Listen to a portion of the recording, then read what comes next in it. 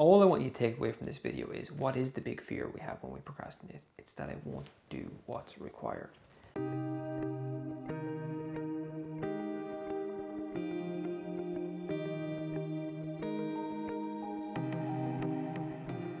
So let me ask you, what is your biggest fear in terms of your life, in terms of the things you want to accomplish?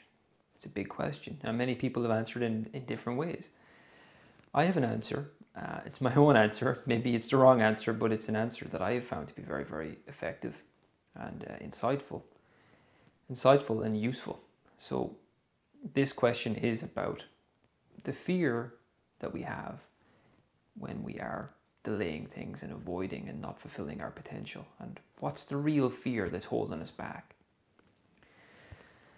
So again, it's about procrastination, and it's this one starts off. It says, "I've been working on my feelings and thoughts about my productivity for a while now." This person has has watched a few a few of my past videos where I talk about the importance of looking at your intention and doing some inner work and journaling and trying to figure out what's going on underneath the uh, underneath the surface but I've come to a block and I need to I need help understanding it.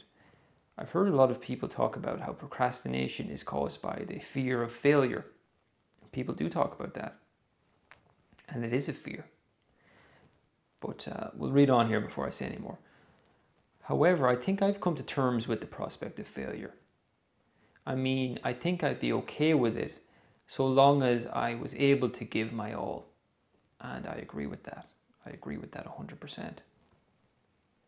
However, I feel I'm not giving my all, and this leaves me feeling so bad inside. It's affecting my confidence, and I usually feel regret and disappointment with myself at the end of each day. So there's the guilt and shame, the main drivers of this. If it's not the fear of failure, what is what is it that's holding me back? So what is it? So again, it's not the fear of failure. Most people acknowledge, as this person here has, and I'm so glad to see that you're doing the inner work on this because it it will mean that you're just going to blast through this issue very very quickly because that's all it needs is acknowledgement and it needs the insight that you are totally capable of getting and it's so great that you're reaching out and you're reaching out to me and maybe you're asking other people about this i hope so Acknowledge this issue and you get through it. But it's not the fear of failure, because I'll tell you why. This is the question I always ask people to, to highlight what the big fear is. Think of that goal you're working on. Now imagine if I could wave a magic wand and it could mean that now I can guarantee you magically somehow that you are now going to take all the action required for you to achieve your absolute potential in this. Now, I'm not guaranteeing you when I wave the magic wand that you will be successful, but I will guarantee you that you will do your absolute best and achieve your personal potential in this thing that you're interested in. Most people say when I when I ask them that, they say, "Yep, sign me up for that." I, I really wouldn't care all that much, or maybe I'd I'd care a little bit, but at least I'd feel totally good about myself because I know I've reached my own potential. Now, what does that point to? That tells us what is the big fear.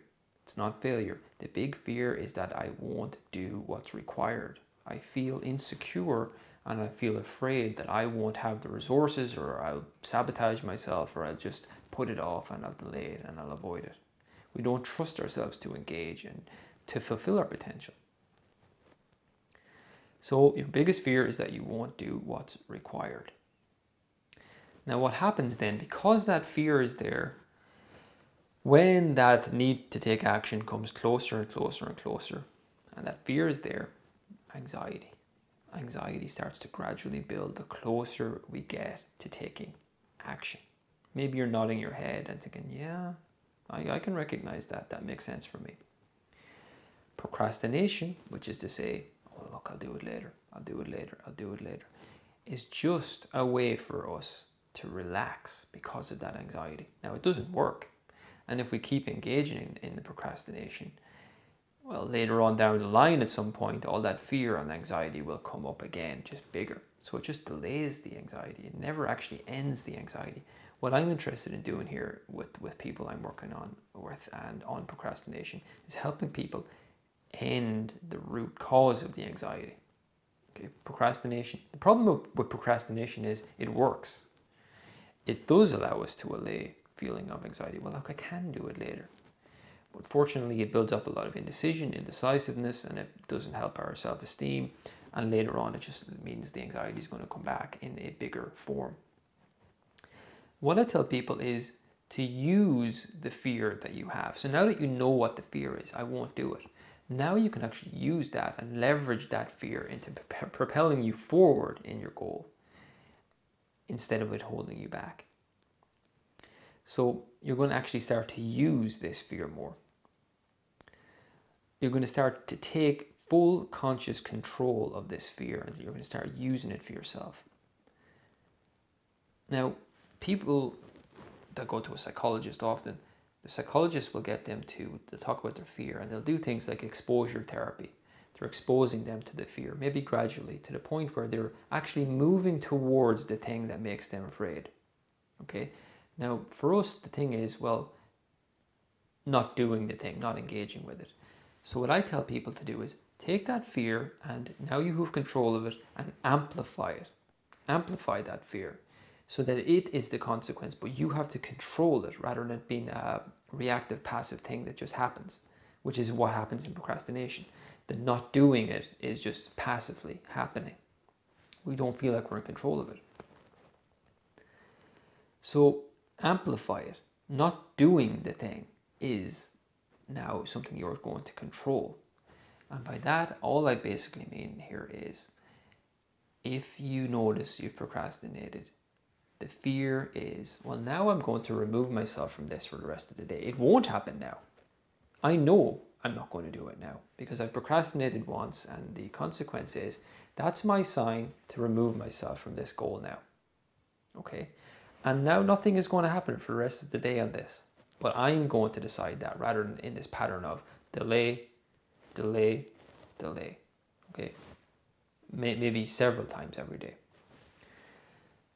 just remove yourself from it and say, oh, look, I'll try again tomorrow. But bring an awareness then that I'm using this fear because the next day you go back, and if you're serious about that, you will realize I either take action when I say I have to take action, and you become more mindful of when you are going to start. You give yourself plenty of relaxation time. You start taking care of yourself. Self care becomes important. Positive rewards, non negotiable fun is set into your, your calendar you start to realize I have complete control over this. I determine when I engage and when I don't, and what I'm going to put up with and what I'm not going to put up with, what I'm enabling myself to do, self sabotaging myself like this, and what I'm not going to enable myself to do. We're, going, we're almost like enabling ourselves with this pattern of, of procrastination. So use that fear all I want you to take away from this video is what is the big fear we have when we procrastinate? It's that I won't do what's required. Now that you know that, how are you going to use it? How are you going to use that to drive yourself forward?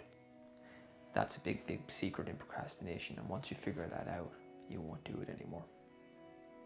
If you'd like to learn more about this, visit my website. The resources are there for you to put this issue behind you entirely or if you have just a question for me that you'd, you'd like feedback on, you can contact me there as well. Thanks so much for watching, folks, and uh, I'll see you again soon. Bye for now.